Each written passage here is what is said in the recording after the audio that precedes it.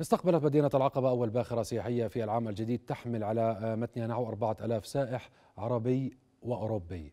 رئيس سلطة منطقة العقبة الاقتصادية الخاصة نايف الفيز قال إن سياحة البواخر تنعكس إيجابا على السياحة والاقتصاد في المملكة بشكل عام والعقبة بشكل خاص وتوقع وصول 90 باخرة ركاب إلى المدينة خلال العام الحالي.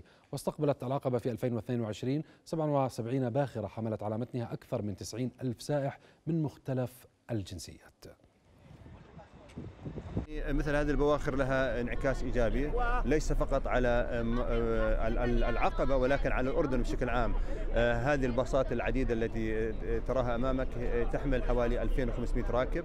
هذه آه، الباصات والسيارات والنقل السياحي الذي ينقل الركاب من خلال مكاتب سياحة من خلال أدلاء من خلال المجموعات المختلفة. سيذهبوا إلى عدة مواقع منها العقبة منها وادي رم منها البتراء وبعض منها سيتجه أبعد من ذلك. ولكن آه، هذا هذه الحركة ستكون لها انعكاس اقتصادي كما قلت على العقبة وعلى المناطق المختلفة.